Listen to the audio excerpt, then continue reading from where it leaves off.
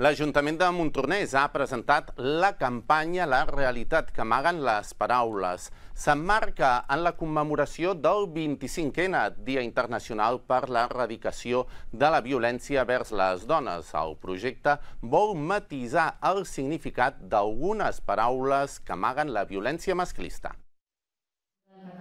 Amor, igualtat i seguretat són els tres primers mots amb què s'ha engegat la campanya La realitat que amaguen les paraules.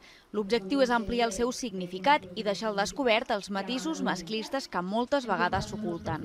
Per això, des de la Regidoria de Feminisme i Diversitats de Montornès, s'han dissenyat cartells amb anotacions vermelles sobre la definició del diccionari. És molt important ser conscients de la importància que té el llenguatge envers la violència, perquè és una manera també de, de, de despertar, de donar-nos que els micromasclismes moltes vegades estan en les paraules i ampliar aquestes paraules vol dir que som més conscients que el llenguatge té un paper paper molt important a les violències. Per tant, la idea és començar amb aquestes paraules i ampliar de cara al futur.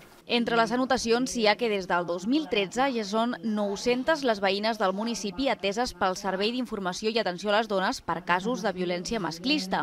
Una xifra que preocupa el consistori, però que l'encoratja continua invertint per fer visible aquest servei d'acompanyament a les dones i infants. És positiu que les dones i les criatures coneguin que des de l'Ajuntament si venen amb una demanda, sigui de violència masclista o sigui d'algun tipus de discriminació, hi ha, un, hi ha serveis que les atendran. Un mite que moltes vegades pensen de no només tindrà atenció, tindré recursos o serveis si faig denúncia. Doncs la denúncia pot anar i la dona pot fer denúncia i, i això té el seu recorregut, però poden accedir al servei sense cap denúncia. La idea és poder acostar-se i explicar el que està passant i buscarem el recurs que sigui més adient. D'aquesta manera, la Regidoria de Feminisme treballa perquè cada vegada més serveis puguin derivar víctimes al CIAT. De fet, el darrer any, de les 180 dones ateses al servei, una setantena van accedir-hi directament, mentre que la resta van ser derivades de serveis socials, sanitat o altres espais.